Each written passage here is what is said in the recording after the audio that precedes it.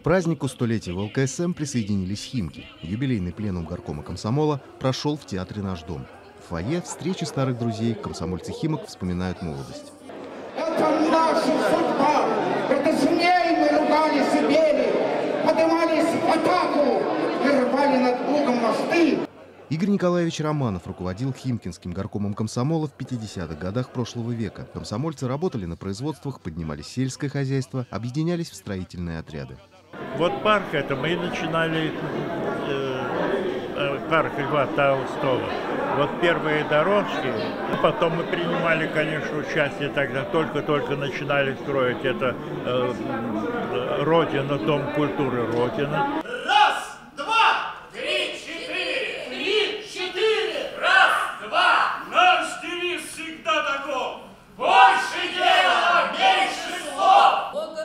В зрительном зале аншлаг. Здесь все, кто связал свою жизнь с комсомолом.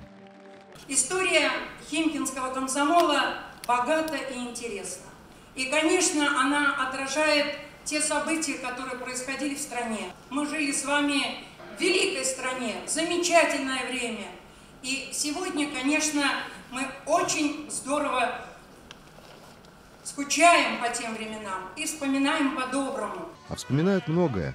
БАМ, великие стройки коммунизма, комсомольцы проложили дорогу в космос и даже оставили следы на пыльных дорожках далеких планет. Виктор Александрович Воронцов – лауреат премии Ленинского комсомола. Получил ее за разработку аэрокосмических зондов. Эти аппараты, созданные на НПО имени Лавочкина, в 80-х достигли атмосферы планеты Венера. Новая веха в истории освоения космоса.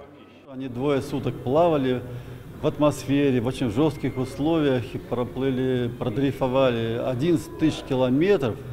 Воспоминания о комсомольских годах у каждого свои. Для депутата Московской областной думы Александра Смирнова комсомол – это романтика молодости, когда жизнь только начинается.